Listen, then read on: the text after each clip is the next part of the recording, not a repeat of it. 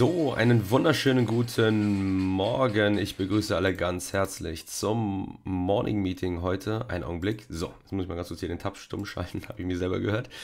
Ähm, einen wunderschönen guten Morgen. Ich begrüße alle ganz herzlich zum Morning Meeting. Schon mal ganz kurz hier in die Trading Chatbox. Ja, das Livestream. Guten Morgen, Traders. Auch, zack. Im Hinblick auf äh, genau diesen Bereich, wo ihr eure Fragen natürlich hier in den folgenden Minuten stellen könnt. Wir wollen gemeinsam mit Markets einen Blick hier einmal auf die Märkte uns gönnen und äh, schauen, wo wir derzeit stehen. Äh, DAX hat jetzt die 15.500er Marke und auch die gestrigen Tageshochs ähm, erobern können und können uns jetzt im Bereich um und oberhalb stabilisieren. Das ist grundsätzlich erstmal ein bullisches Signal, ähm, welches dann auch die gestern schon skizzierte Überlegung im Hinblick eben auf den weiteren Aufschläge, Ziele 15.700 Punkte eventuell und auch darüber hinaus aktiviert. Ähm, wir werfen gleich natürlich noch einen Blick auf den Chart in dem Zusammenhang. Wir werfen einen Blick auf die Earnings von gestern. Netflix hat nachbörslich Zahlen berichtet, waren alles in einem sehr, solide. Nichtsdestotrotz, wir haben halt, ich sag mal, verhältnismäßig viel eingepreist natürlich, ausgehend von dem Break höher und sehen dann eben jetzt leichte Abschläge. Also es ist nicht dramatisch. Tatsächlich, wir müssen mal sowieso schauen, ob die Aktie dann heute für den Handel sich als potenziell heiß herauskristallisiert. Also ausgehend vom vorbörslich gehandelten Volumen. Informationen dazu werden wir dann in den folgenden Stunden natürlich erhalten. Ähm, wir haben heute nachbörslich ähm, Tesla Earnings, da wird es natürlich super spannend, besonders nach diesem jüngst wieder sehr, sehr scharfen Kursanstieg über die 800er Marke. Das gestern skizzierte Szenario mit dem Pop-Gap-Up über oder auf neue Allzeithochs und eventuell dann dem Pull-In, also dem Rücksetzer, ist natürlich definitiv gegeben. Wir haben gestern einen Lauf zu sehen bekommen in Silber Richtung 24. Das hat mich dazu veranlasst, tatsächlich ausgehend, ich werde es gleich berichten ähm, oder zeigen. Ich hatte kurzzeitig überlegt, ob ich gegen diesen Bereich schon eine erste Teilgewinnmitnahme auf den Weg bringe, wie ich das letzte Woche skizziert hatte. Im ähm, Morning Meeting am Freitag war es. Und äh, habe dann mich tatsächlich dazu entschieden, die 24 als, als ähm, ersten Teilgewinnmitnahme Bereich eben tatsächlich für meinen Trade dort auf den Weg zu bringen. Warum, wieso, weshalb? Das hat besonders mit der relativen Schwäche von Gold zu tun. Gold hat sich allerdings jetzt auch wieder ein bisschen fangen können.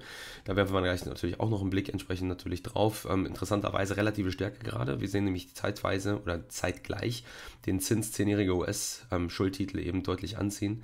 Ja, also ihr seht, wir haben auf jeden Fall einiges zu berichten. Bitcoin werfen wir auch noch einen Blick drauf, im Hinblick eben auf die jetzt zeitnah wahrscheinlich anzulaufenden Allzeithochs.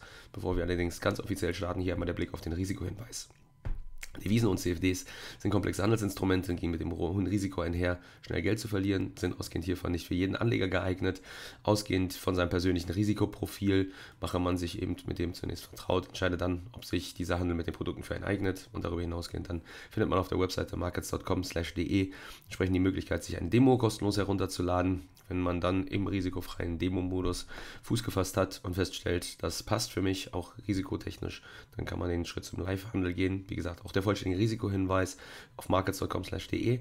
Da findet ihr auch weitere Informationen zur Produktpalette von Markets, Multi-Asset Brokerage und dergleichen ist da so das Stichwort in Anführungsstrichen, also es ist nicht nur auf CFD und FX-Produkte, gehebelte Handelsprodukte, Querstrich-Derivate beschränkt, sondern auch auf physische Aktien, klassischer Aktienhandel, ETFs und dergleichen.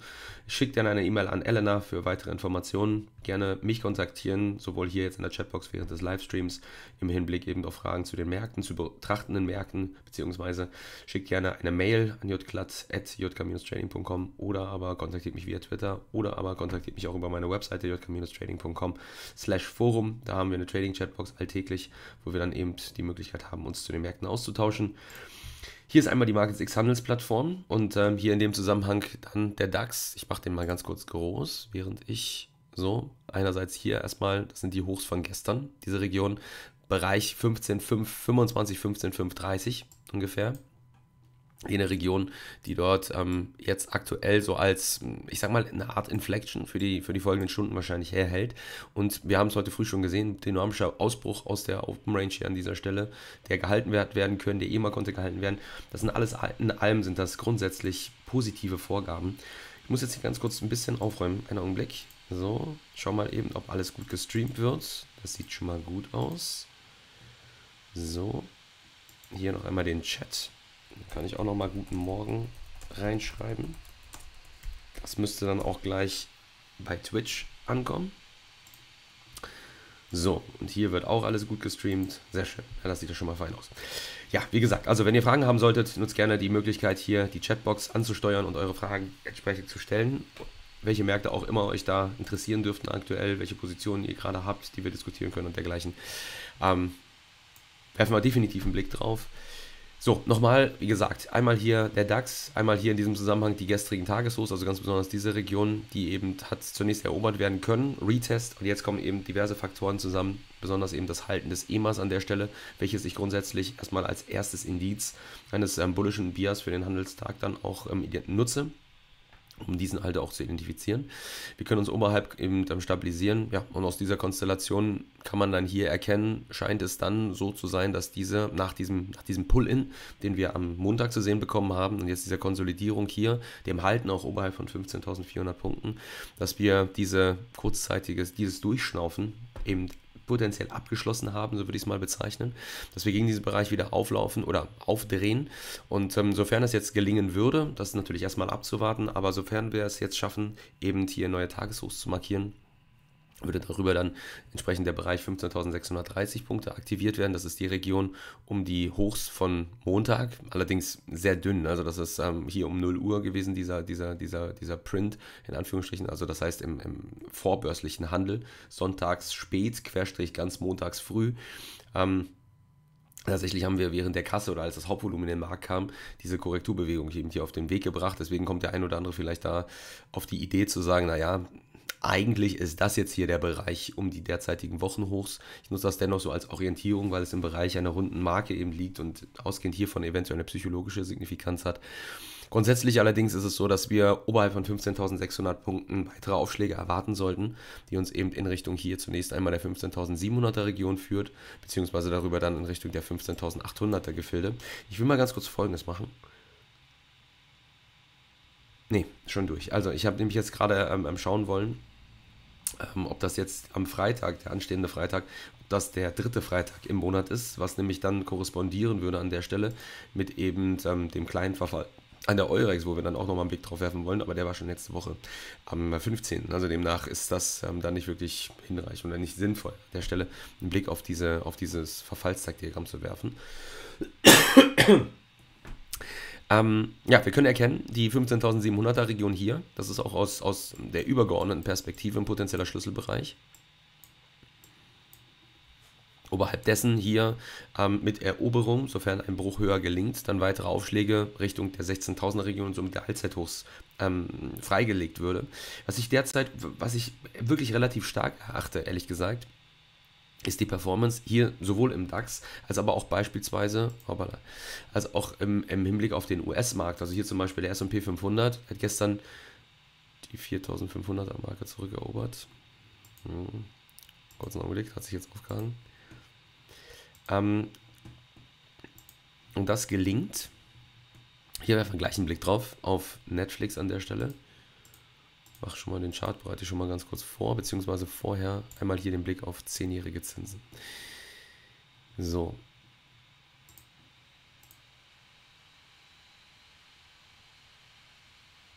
Na, das ist sehr vielversprechend. Das ist jetzt nicht so cool, ehrlich gesagt. Ein Moment, jetzt sieht es nämlich gerade so aus, als wenn die Plattform nicht erreichbar ist. Das ist vielleicht mit einem so, Moment. Hat das hier mit dem Browser zu tun?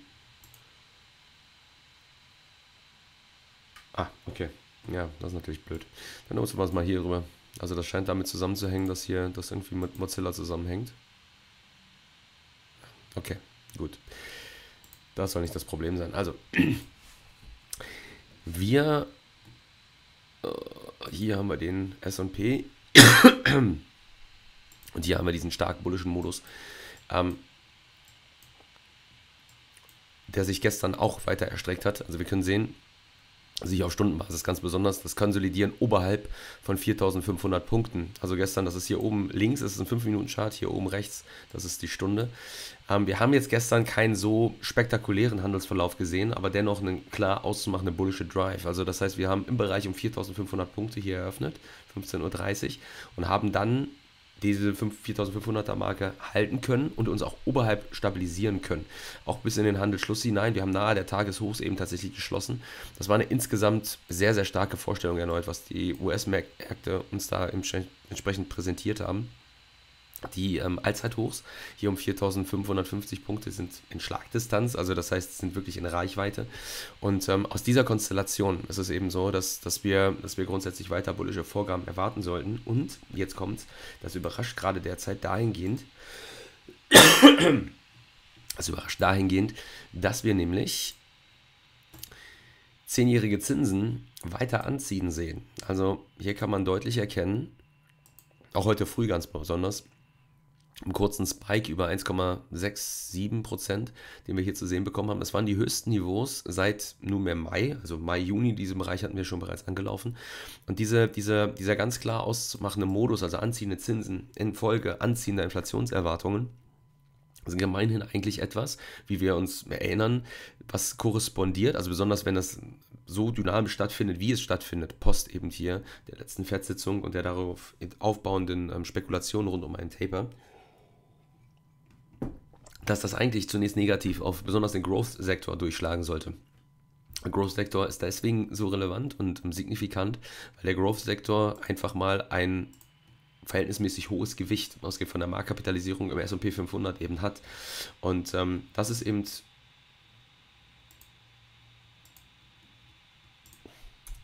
also die Technik, die begeistert hat, das muss ich sagen.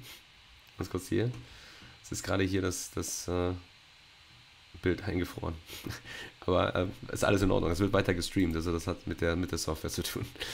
Ähm, das ist also dahingehend beeindruckend, diese anziehenden Zinsen und dieser Performance, weil du normalerweise eigentlich damit rechnen würdest, dass wir hier ein Pull-in zu sehen bekämen oder dass der Markt eben auf diese anziehenden Zinsen eher bärisch reagiert. Dass er das nicht tut, das ist meines Erachtens nach ein relatives Stärkesignal und begünstigt weiter ganz klar die Long-Seite. Also das bedeutet etwas anders formuliert. Man sollte sich, denke ich, vorsehen, hier die Short-Seite, dann kommen wir nochmal zurück auf den DAX zu spielen, einfach durch diese relative Stärke, die US-Märkte suggerieren und infolgedessen dann auch weitere Aufschläge für den DAX erwartet werden sollten.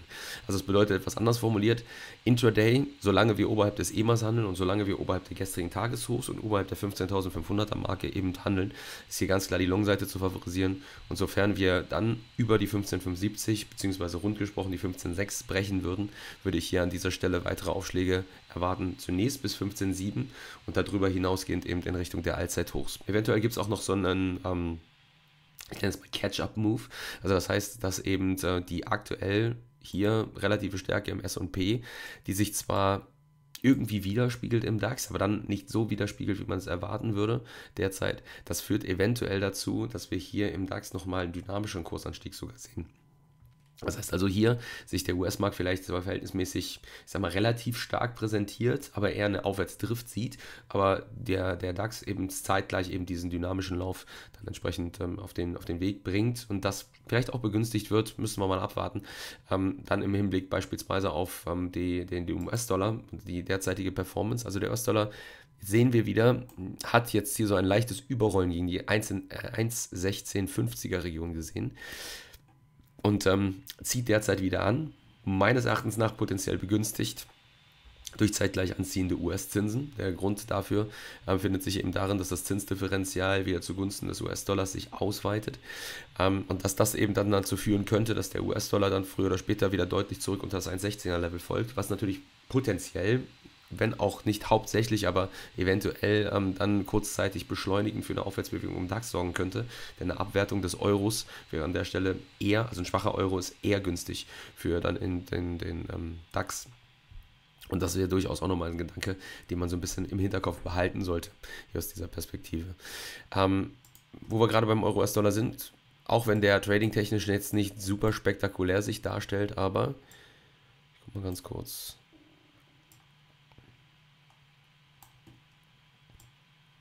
Mal schauen, ob es noch reicht für einen, einen Retest hier der, der Abwärtstrendkanalbegrenzung. Setzt allerdings voraus, dass wir kurzzeitig auch über den 1,1650er Bereich laufen.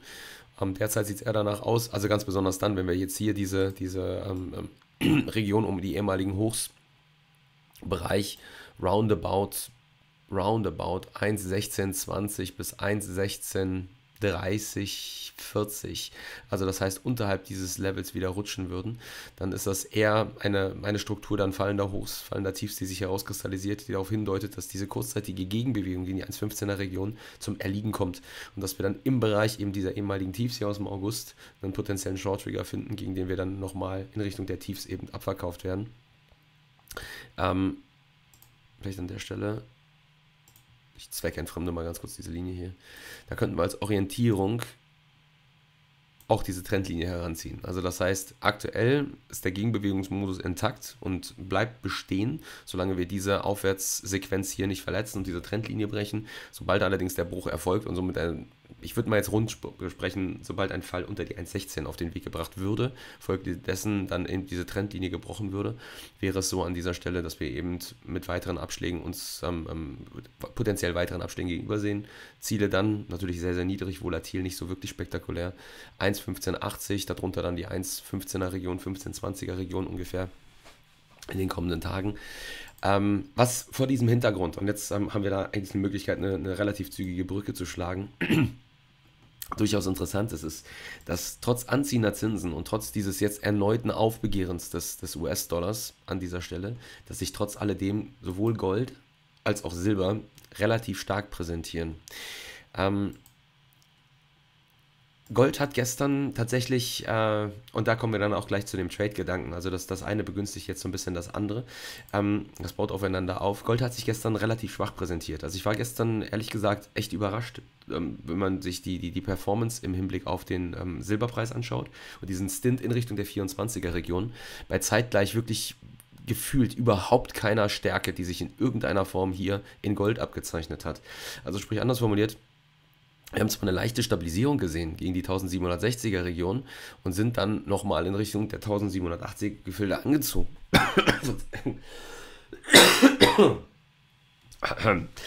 Nichtsdestotrotz ähm, hat sich hier dann doch eine relative Schwäche, besonders ab 15, 16 Uhr herauskristallisiert, mit einem auch dann, jetzt war es kein dramatisch volatiles Umfeld, aber trotzdem einfach einer relativen Schwäche, die oder der sich ähm, ähm, Gold, nee, Verzeihung, Silber komplett entzogen hat. Und ähm, das ist durchaus etwas, was, was beeindruckend ist. Also man kann es nämlich im Gesamtkontext durchaus erkennen, ähm, oder beziehungsweise erklärt, dass hier ähm, Gold sich schwach präsentiert hat durch die anziehenden Zinsen, durch das Stabilisieren oberhalb von 1,6 Prozent an dieser Stelle ähm, und, und auch dem, obwohl der US-Dollar verhältnismäßig durchwachsen eigentlich performt hat. Also den sollte man eventuell da nicht unbedingt heranziehen, aber der, der Hauptreferenzpunkt, an dem ich mich hier orientiere im Hinblick auf die Performance, die eben Gold präsentiert oder Edelmetalle generell, ist eben der Zinsmarkt.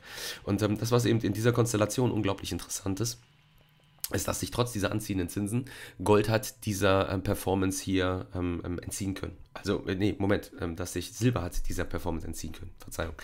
Also, das bedeutet etwas anders formuliert. Gold war gestern wie erwartet, hat wie erwartet performt und Silber hat es eben nicht getan.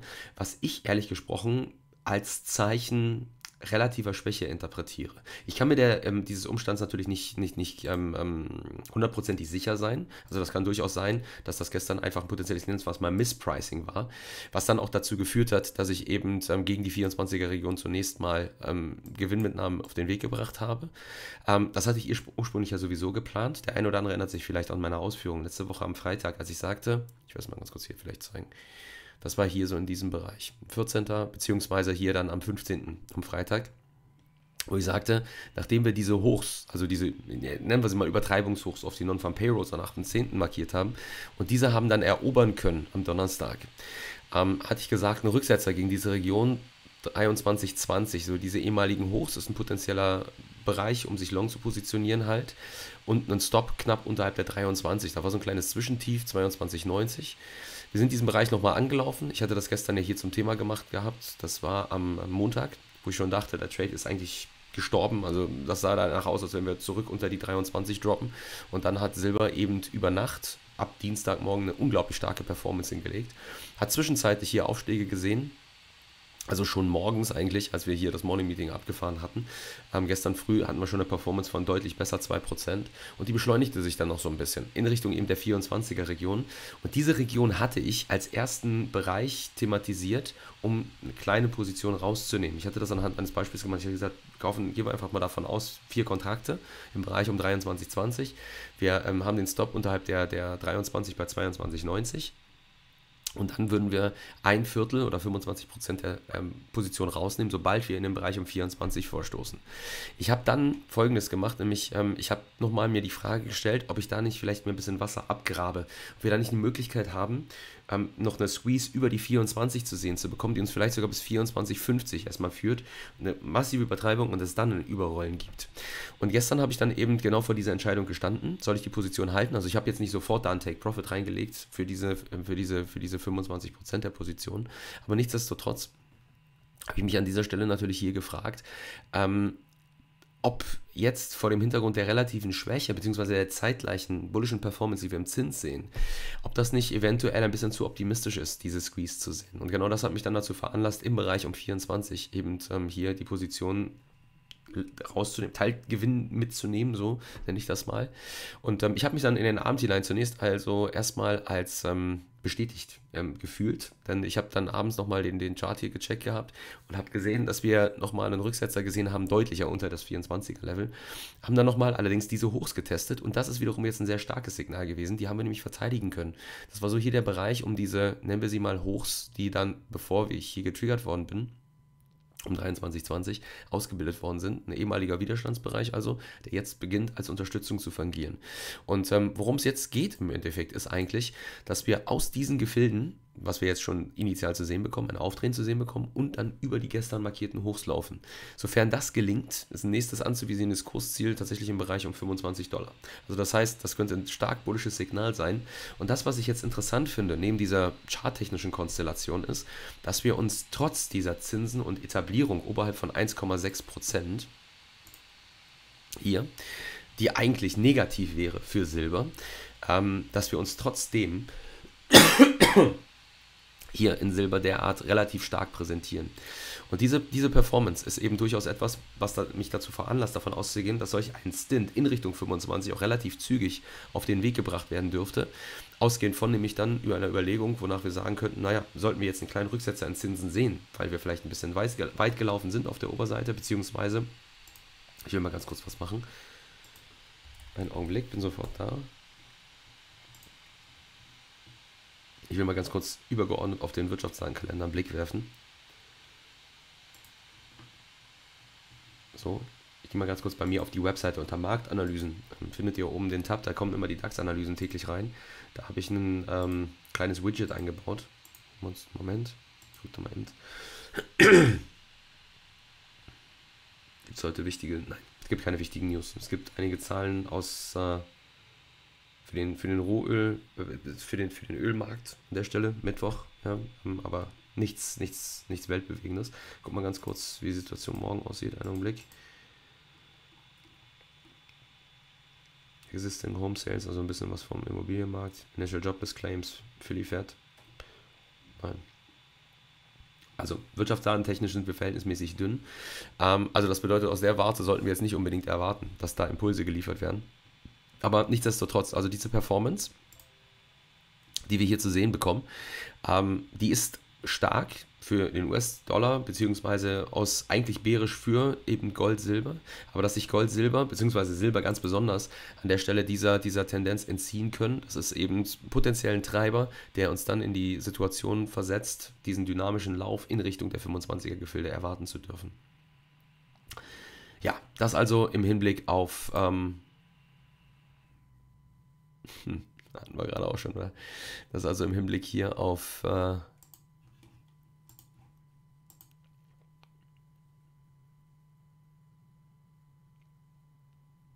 machen wir so. Das funktioniert ja auch wieder. Ähm, das also im Hinblick auf das, ähm, was, was mein Silbertrade aktuell eben angeht. Wie gesagt, aktuell läuft alles nach Plan, gegen die 24 einen Teil rausgenommen, den Rest stehen lassen.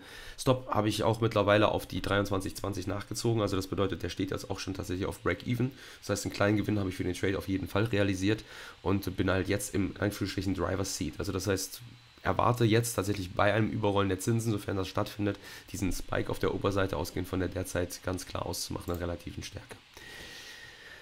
So, werfen wir einen Blick auf die Netflix-Zahlen von gestern, beziehungsweise zunächst einmal hier einen Blick auf eben ähm, das übergeordnete technische Bild, bevor wir dann auf die Netflix-Zahlen zu sprechen kommen. Noch einmal ganz kurz, ich hatte das gestern schon zum Thema gemacht. Schlüsselbereich, der dürfte hier liegen, ähm, in Bezug auf, auf die aktuelle ähm, Erwartungshaltung auf diese Earnings im Bereich um diese Tiefs, die letzte Woche hier ausgebildet worden sind. Das ist so die Region roundabout 620 ungefähr, 623, 624, wo ich mir vorstellen könnte, mit einem Break könnte vielleicht ein Stint nochmal ein Retest der 600er Gefilde zunächst stattfinden. Und ähm, das sind also jetzt die technischen relevanten Level. Also hier kann man auch sehen, die 620er Region offensichtlich eine entsprechende Signifikanz. Ja, auf der Stunde ist das, ist das deutlich erkennbar. Die Zahlen, alles in allem, die ähm, Netflix präsentiert hat, gestern nachbörslich. Also hier ist nochmal der Earnings-Kalender, hier Netflix, hier ganz kurz das, was uns heute ansteht. Also Tesla nachbörslich, da werfen wir gleich einen Blick drauf. Der ein oder andere wird vielleicht auch einen Blick werfen hier auf ähm, Verizon beispielsweise, also VZ. An der Stelle müssen wir allerdings mal abwarten, ob die so dynamisch werden. Also wie gesagt, unsere Herangehensweise ist eben jene, dass wir uns das Volumen betrachten. Ist das in Relation zu dem durchschnittlich gehandelten Volumen mindestens 10%? Ist die Aktie also heiß? Nimmt der institutionelle Handel es entsprechend wahr? Sofern die Antwort darauf ja ist, lohnt das einen tieferen oder näheren Blick. Das gleiche gilt auch heute im Hinblick auf Netflix. Wie gesagt, Netflix gestern Zahlen alles in allem solide. Da gibt es ähm, nichts dran zu deuteln. Also wir hatten gestern ähm, ja gesagt, oder ich hatte gesagt, im, im, im Hinblick in Antizipation auf diesen Earnings Release EPS, also Gewinn pro Aktie, Earnings per Share, ähm, beziehungsweise auch Revenue. Das sind ähm, zwei Kennzahlen, die da weniger ähm, signifikant sind. Das, was eigentlich, was eigentlich von Interesse ist, ist diese Kennzahl hier. Das heißt also Streaming Paid Net Change. Das heißt, diejenigen, welchen, die für das Kerngeschäft Streaming-Dienstleistungen von Netflix bezahlen und ähm, wie sich diese Zahl eben entsprechend präsentiert. Also hier sehen wir ähm, Earnings per Share besser als erwartet, Revenue, Umsatz im Bereich dessen, was erwartet worden ist. Das kann dir eigentlich nicht gefallen. Also das ist eine, eine, eine, Downward Revision. Also das heißt, die Revenue Guidance fürs vierte Quartal wird nach unten revidiert. Beziehungsweise, ähm, ähm, also das ist der Earnings per Share, der Gewinn pro Aktie. Wir haben hier den, den Revenue tatsächlich, der ist leicht nach oben revidiert, aber im Bereich der, der Erwartung. Ähm, also mixed aus dieser Perspektive das weitere Wachstumspotenzial. Aber wie gesagt, das, was hier erstmal vielleicht dann auch initial diese, diese bullische Reaktion nach sich gezogen hat, ich will das mal ganz kurz hier in der Nachbörse zeigen, was da passiert ist. Das ist ein Tageschart, wir wollen zack, kurzfristig uns das betrachten. Da gab es einen initialen bullischen Spike auf der Oberseite. Hier, da wurde in der Nachbörse wurde die Aktie gehandelt bei 663 Dollar und es war tatsächlich sogar ein Spike auf neue Allzeithochs. Durch was begünstigt, also durch was begünstigt auch immer. Eventuell ist die Zahl im Hinblick auf die hier, zack, auf die, auf die Streaming Paid ähm, ähm, Users an der Stelle, die über der Erwartung veröffentlicht worden ist, also besser als besser 10% oberhalb dessen, was erwartet wurde, seitens der Street, also der, der, Wall Street hier, der seitens der Analysten. Eventuell war das der Grund für diesen Spike auf der Oberseite, natürlich begünstigt durch ein auch entsprechend sehr dünnes Umfeld insgesamt. Wir sind dann allerdings relativ zügig von diesen Übertreibungsniveaus abverkauft worden und handeln auch jetzt in der Vorbörse. Also das ist der nachbörsliche Handel in Blau und hier das orangefarben hinterlegte, das ist jetzt der, der vorbörsliche Handel, der seit 10 Uhr ähm, ähm, unserer Zeit eben möglich ist, wo allerdings unsere Referenzmarke in Anführungsstrichen die 14 Uhr Schwelle ist. Und was wir jetzt hier zu sehen bekommen, ist, dass wir unterhalb der gestrigen Tagestiefs eröffnen, auch unterhalb der nicht ganz, also wie gesagt, das ist ein dünnes Umfeld. Signifikant ist hier eigentlich meiner Einschätzung nach hier dieser Bereich, um diese Tief 6,29 ist ungefähr, unterhalb dieses Levels uns stabilisieren können. Das wäre übrigens auch etwas, würde ich sagen, ähm, das ist die potenzielle Inflection für heute, an der ich mich orientieren würde. Also 6,29 ist das, das Schlüssellevel der Nachbörse. Wenn wir uns drunter halten können und auch unterhalb von WeWop hier an dieser Stelle, dann wird es in Anführungsstrichen ernst dahingehend, dass wir nämlich dort dann erwarten sollten, dass es eine Attacke auf diese untere Range-Begrenzung, die sich hier herauskristallisiert hat in den letzten Tagen, also im Oktober jetzt, im Antizipation auf diesen Earnings Release, dass dann Attacke stattfindet und dass dann auch nicht nur eine Attacke stattfindet, sondern dass gegen diese mit einem Bruch auch weitere Abwärtsdynamik erwartet werden dürfte. Was wiederum nämlich jetzt genau das widerspiegelt, was ich schon sagte. Durch diesen Breakout, der hier auf den Weg gebracht worden ist und auch diesen Retest, der schon erfolgt ist, dass beim Ende des, des vierten Quartals, ist einfach schon sehr, sehr viel Positives in den Kursverlauf eingepreist worden im Hinblick auf diesen Earnings Release. Also das heißt, wir sind jetzt im klassischen Umfeld buy the rumors, sell the news und so extravagant oder so außergewöhnlich gut waren die Kennzahlen, die jetzt am Earnings hier an dieser Stelle eben ähm, ähm, die Netflix hier präsentiert hat, waren die einfach schlichtweg nicht. Also das heißt, das ist mixed, ja, Streaming Paid, Change, äh, Streaming Paid Net Change liegt über der Erwartung, aber es ist jetzt eben nicht so, dass man sagen würde, wow, das ist outstanding, das ist wirklich crushing. Ähm, auch vielleicht sogar ganz besonders vor dem Hintergrund dessen, wie weit wir schon gelaufen sind. Und das lässt mich dann eben zu dem Schluss kommen, dass diese Aktie wahrscheinlich eher in diesem News Release verkauft werden sollte. Das, wie gesagt, gilt ganz besonders und dann nochmal hier in der Vorbörse, sofern wir uns eben unter 6, unterhalb von 629 präsentieren. Also das ist die Inflection für heute. Wenn dieser Bereich ähm, nicht zurückerobert werden kann, bin ich für den Tag heute für Netflix eher bearish und würde eine ernsthafte Attacke auf die 620 erwarten, beziehungsweise dann eventuell auch einen Bruch tiefer unter dieses Niveau geben. Ja, das also zu Netflix, dem Earnings Release.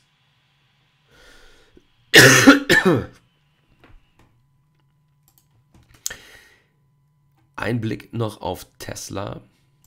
Wollen wir auch einen Blick drauf werfen. So, Gestern final dann mal ein bisschen durchgeschnauft.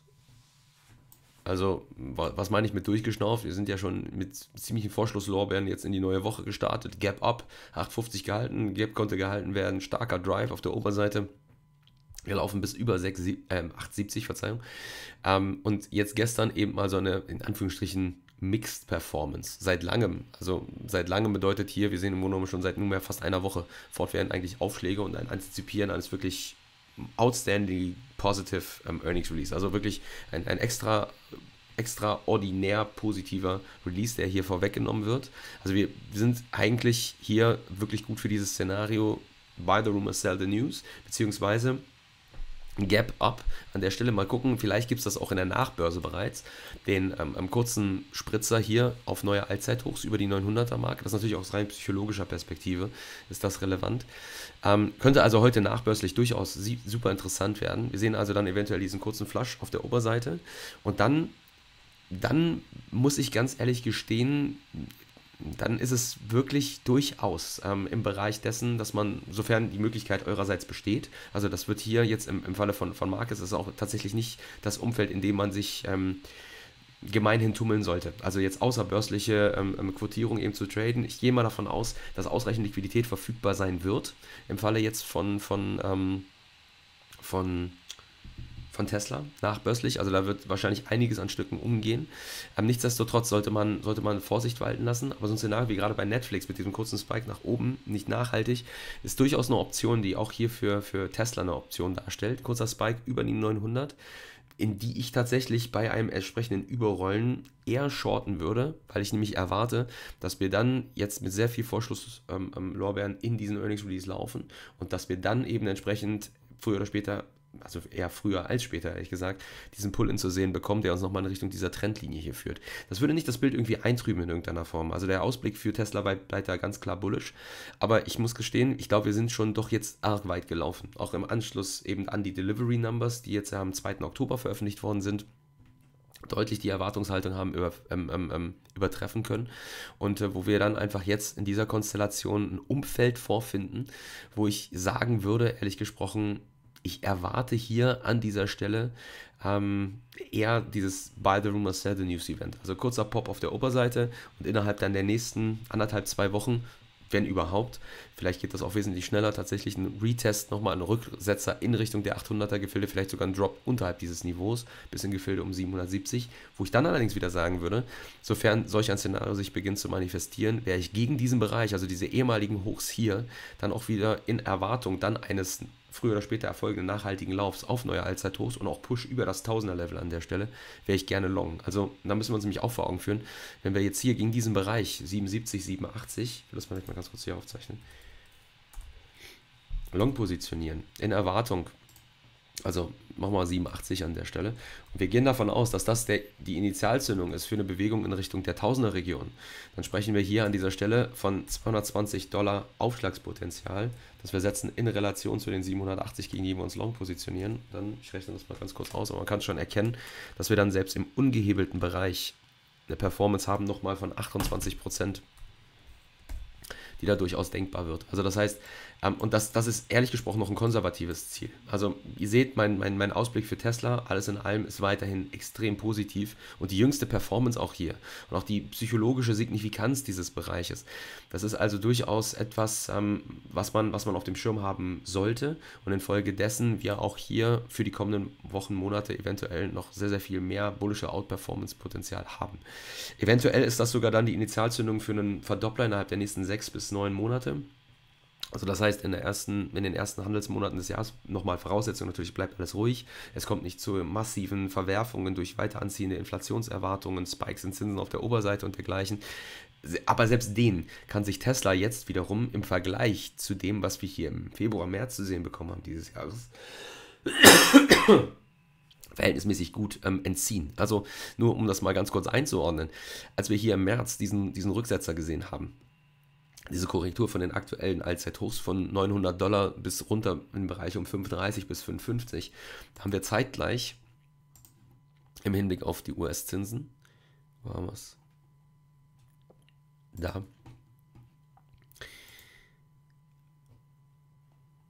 Haben wir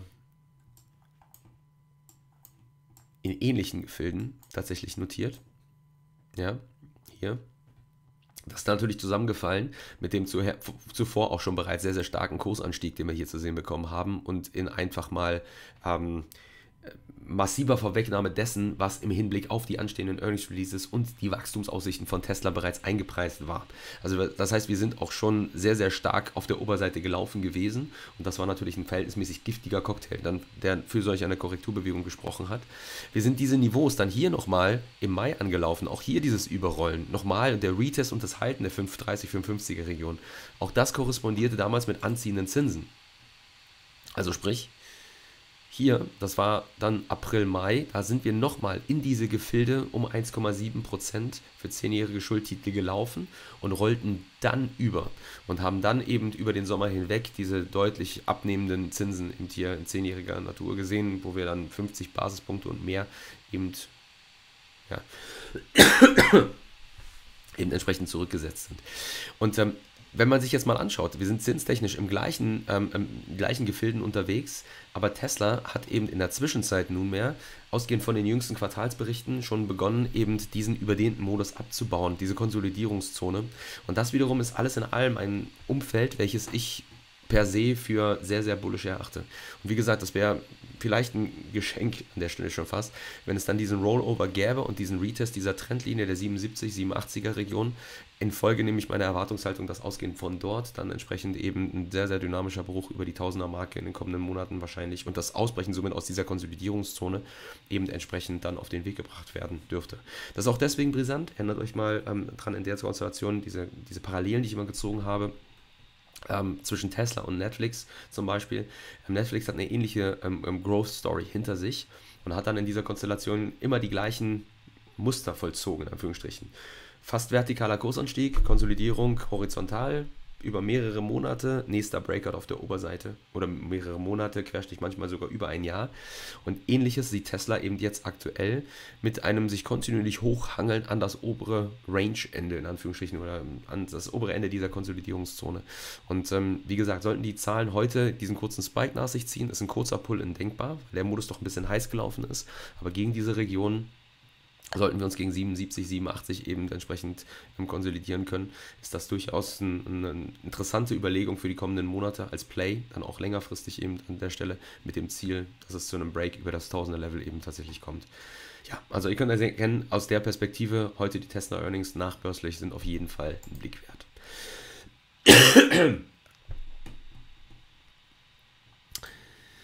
So, jetzt kommen wir zu Bitcoin. Wir handeln, hangeln uns heran. Wir sind im Bereich um die Allzeithochs, knapp unterhalb hier. Ich hatte gestern in dieser Konstellation ja schon ein bullisches Szenario skizziert und äh, ja, dieses bullische Szenario, das scheint sich auch mehr und mehr heraus zu, zu manifestieren. Also diese steigende Dreieckstruktur, die hatte ich gestern hier schon zum Thema gemacht. Ich hatte gesagt, solange wir diese Trendlinie übergeordnet halten können, bleibt der Modus weiterhin ganz klar long. Und wir sehen jetzt hier, dass wir über diese gestern markierten und thematisierten Hochs um 62.500 brechen. In diesen Gefilden eben jetzt auch nicht nur dann die Allzeithochs anlaufen, sondern auch auf diesen hohen Niveaus eben stabilisieren uns. Und demnach die Wahrscheinlichkeit, dass es hier zu einem Breakout auf neue Allzeithochs auch hier zeitnah eben tatsächlich kommt, ist ähm, massiv hoch, ehrlich gesagt. Ähm, ich gehe wirklich davon aus, dass wir dass wir hier, wie ich das auch schon in den letzten Tagen skizziert habe, einen ähnlichen Verlauf wahrscheinlich sehen, vielleicht sogar noch ein bisschen heftiger. Ähm, das, was wir hier im, im, Hinblick auf den Bruch auf neue Allzeithochs Anfang Februar gesehen haben. Also sprich, dass der Bruch auf neue Allzeithochs sehr dynamisch erfolgen sollte. Ähm, und vielleicht sogar dann in einem Zug sofort straight away die 70.000er Marke angelaufen wird. Das hat mit auch damit zu tun, auch hier, ja, Stichwort, ähm, ähm, obwohl das nicht wirklich eine Korrelation ist, aber auch das sollte man natürlich so ein bisschen im Hinterkopf behalten. Äh, Stichwort eben anziehende Zinsen, Fremdkapitaleinsatz beziehungsweise in Anführungsstrichen spekulativer Exzess. In einem Umfeld, in dem das Geld teurer wird, also im übertragenen Sinne eigentlich dem Marktliquidität entzogen wird potenziell, siehst du eigentlich eine ähm, Risikoaversion der Marktteilnehmer, die sich dann besonders in solchen spekulativen Assets wie beispielsweise im Bitcoin oder auch so starken Growth-Titeln wie Tesla widerspiegelt. Dass die sich diesem anziehenden äh, Zinsdruck komplett entziehen, das sind ähm, deutliche Stärkesignale eigentlich. Und äh, die sollten auch nicht, nicht nur nicht ignoriert werden, die sollten schon gar nicht gefädet werden. Also dass man jetzt in irgendeiner Form sagt, hier sind wir kurz vorm Doppeltop. Das ist die Überlegung, klar, auch im Hinblick jetzt auf Bitcoin. Ähm, ich hatte gestern schon gesagt, vielleicht gibt es hier sowas wie einen Stuff, in Anführungsstrichen. Also das heißt, kurzer Pop auf neue Allzeithochs und dann laufen wir wie gegen eine Wand und sehen sofort einen scharfen Abverkauf eben, dass dann so eine Art Blockorder in den Markt kommt. Ich muss allerdings gestehen, dass mir das Szenario, ähm, also das müsste, das kann auftreten, das sollte auf jeden Fall im Hinterkopf behalten werden, aber es scheint mir durchaus nicht realistisch, ehrlich gesagt, im derzeitigen Umfeld, ausgehend von den jüngsten Entwicklungen, die jetzt auch im Hinblick beispielsweise auf ähm, Bitcoin-ETFs. Mann, ist wirklich anstrengend mit dem Husten langsam. Ich will das mal ganz kurz hier zeigen. Bitcoin ETF, SEC. Mal ganz kurz.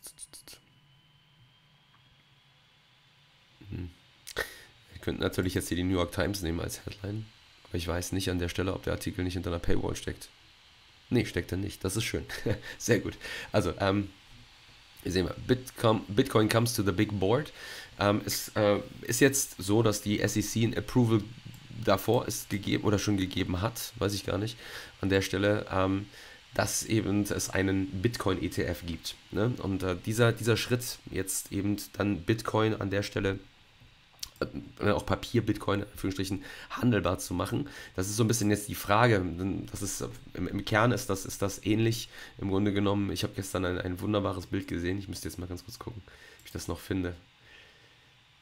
Ähm, allerdings fällt mir gerade, ehrlich gesagt,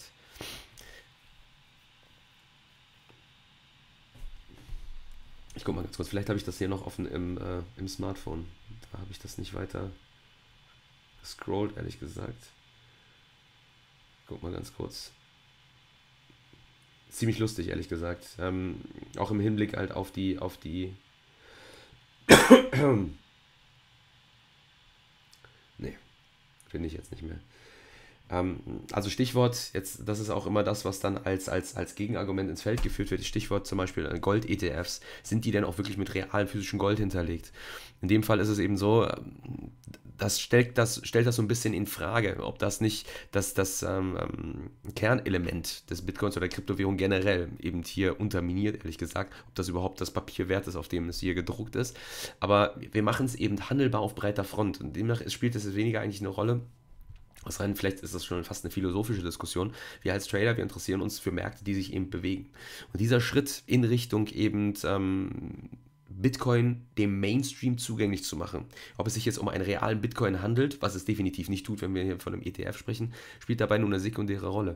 Alleine dieser psychologische Effekt, den das nach sich zieht, ist gut in dem Kontext dafür, eben hier diesen dynamischen Break höher nach sich zu ziehen, weil er einfach mal zeigt, also an der Stelle eben ähm, jetzt Bitcoin in Mainstream in Anführungsstrichen ankommt durch diesen SEC-approveden Bitcoin-ETF, der eben auf den Weg gebracht wird. Und deswegen muss ich ganz ehrlich gestehen, glaube ich, könnte ich mir sogar noch einen wesentlich dynamischeren Break und dann auch entsprechend Follow-through bei einer Markierung neuer Allzeithochs vorstellen. Also ihr seht, ähm, ich würde mich hier an der Stelle wirklich ganz klar long in Richtung dieses Momentums positionieren und sehe weiterhin auch keinen Grund, ähm, ähm, hier in irgendeiner Form skeptisch zu werden für Bitcoin und weiteres das bullische Potenzial, solange diese kurzfristige Aufwärtstrendlinie gehalten werden kann.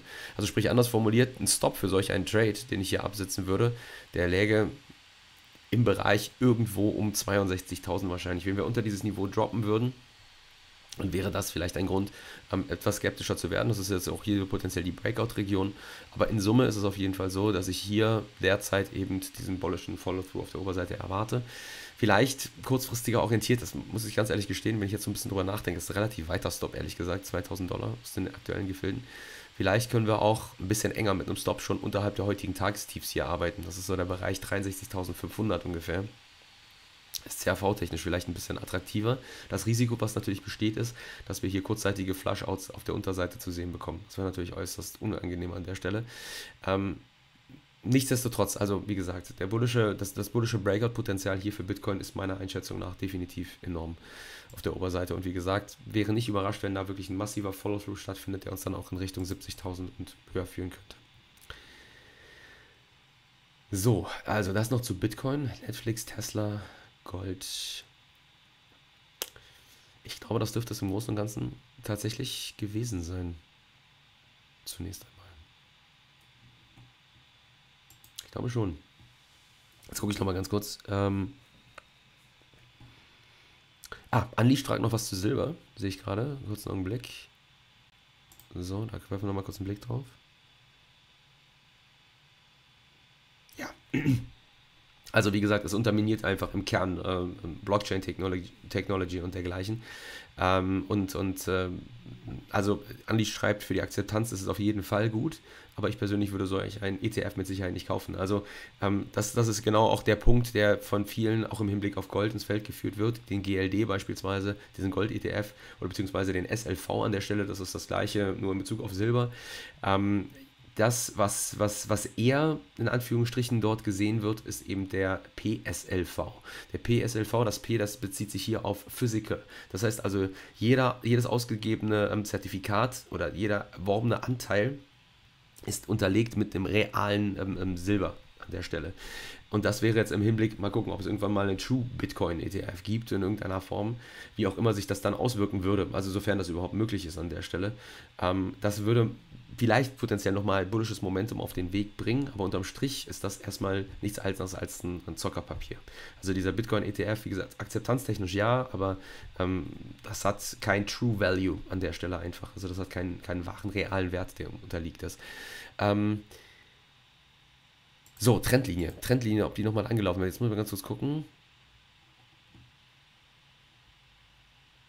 Also das ist die übergeordnete Trendlinie. Ich will aber, ich glaube nicht, dass du die meinst, sondern du wirst wahrscheinlich. Guck mal ganz kurz. Wahrscheinlich diese hier meinen.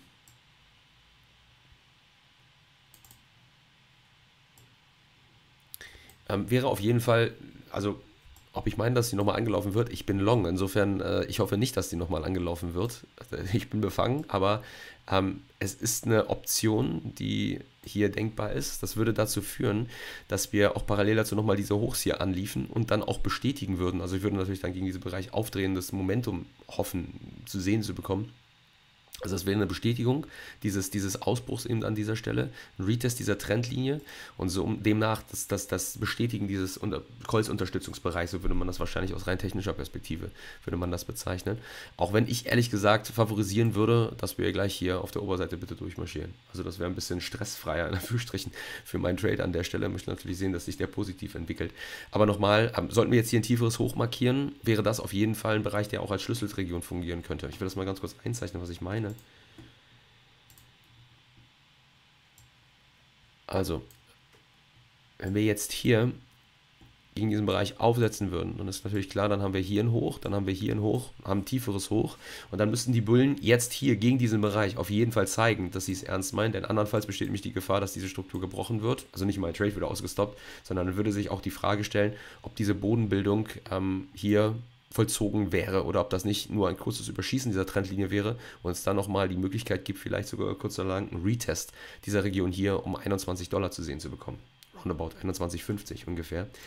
Ähm, also sprich anders formuliert, wenn wir hier ein tiefes Hoch markieren, muss gegen diesen Bereich hier Nachfrage in den Markt kommen und wir müssen dann zügig neue Hochs markieren, weil andernfalls eben dieses Szenario, nehmen wir es mal hier 1 an der Stelle, ähm, ähm, eben wahrscheinlicher werden würde. Also ja, ja.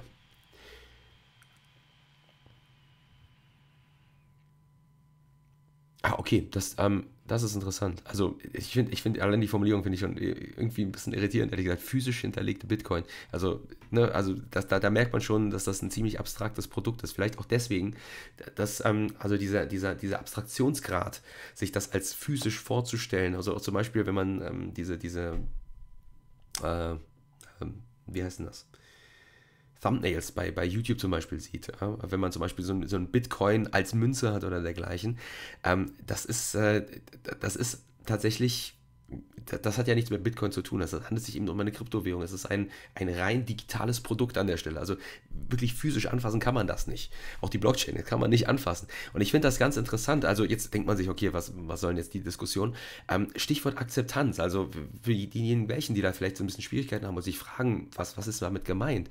Also sobald du solch ein Produkt auf den Weg bist, also ein Produkt, welches diesen hohen Abstraktionsgrad einfach hat, ist das etwas, was, oder was ich damit meine, wenn ich sage, es kommt im Mainstream an oder es wird jetzt eben von der, von der Wall Street, es wird greifbar für die, als wenn auch rein spekulatives Produkt, aber an dieser Stelle eben etwas, was ähm, aus den, von dieser Akzeptanz potenziell eben nochmal kurstreibend wirken kann. Ich glaube, das sollte man nicht unterschätzen. Also das ist ein wirklich ähm, weitreichender psychologischer Effekt, der getriggert wird. Auch wenn, wie gesagt, eigentlich ähm, unterm Strich das, das Papier nicht wert ist, auf dem es eigentlich gedruckt ist, wenn man es jetzt mal ähm, nett formulieren möchte, sondern ein rein spekulatives Produkt eben tatsächlich.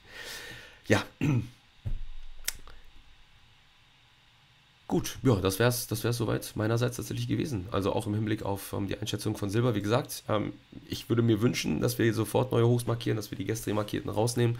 Wenn wir diesen Bereich nochmal anlaufen, wäre schon schön, wenn die 23,50 halten würde. Weil andern, wohl andernfalls muss ich auch sagen, dann willst du auch nicht mehr long sein, weil dann besteht nämlich wirklich die Gefahr, dass wir auch zurück unter die 23 eben tatsächlich rutschen. Ähm, derzeit aber nochmal ist die, ist die Performance von Silber, auch von Gold generell einfach relativ stark. Also durch eben, wenn man sich das in Relation anschaut, den Zins, der sich oberhalb von 1,6% für 10 Jahre stabilisieren kann. Auch die derzeit wieder aufkommende US-Dollar-Stärke an der Stelle. Kommt es hier zu einem Rollover? Geht dem US-Dollar so ein bisschen die, die äh, Luft aus an der Stelle, wäre das vielleicht nochmal deutlich dramatischer bullisch treibend dann. Ganz besonders für Silber, wo wir durchaus eine relative Stärke ausmachen können, aber eben auch beispielsweise dann für Gold. So, ja, das also an der Stelle meinerseits. Dann hoffe ich, ihr habt ein bisschen was mitnehmen können für euer Trading. Also wie gesagt, habt das auf dem Schirm. Tesla heute nachbörslich mit Zahlen. Morgen werden wir es auf jeden Fall be be betrachten hier im, im, Morning Meeting auf jeden Fall. Geht, geht, gar nicht anders an der Stelle. Wir haben auch morgen noch einige Titel, die ich auch ähm, in der jüngeren Vergangenheit schon hier trading-technisch als durchaus interessant erachtet habe. Also Crocs beispielsweise. Ähm, das ist dieser, dieser Schuhhersteller. Ich hätte dazu mal ein Tutorial gemacht. ATT, na mal gucken. Snap ist auf jeden Fall trading-technisch ganz interessant. Intel kommt auch mit Zahlen. Also da kommen definitiv äh, noch einige Earnings-Releases auch in den Wochenschluss hinein, die wir auf dem Schirm haben werden, die wir morgen dann im Morning Meeting auch nachdem wir Tesla natürlich nachbetrachtet bzw. eventuell vorbetrachtet haben, eben ähm, entsprechend beleuchten wollen. Und ähm, ja, soweit, soweit wäre es das erstmal meinerseits gewesen. Happy Trading. Passt auf die Stops auf. Abonniert gerne den Kanal, wenn euch das Video gefallen hat. Beziehungsweise lasst gerne ein Like hier. Wie gesagt, Kommentare gerne unterhalb des Videos. Und ähm, morgen 10.30 Uhr hören wir uns hier wieder gemeinsam mit Markets.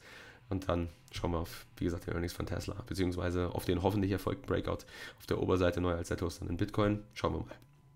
Also, Happy Trading. Passt auf eure Stops auf. Habt euch wohl. Macht's gut. Bis dann und tschüss.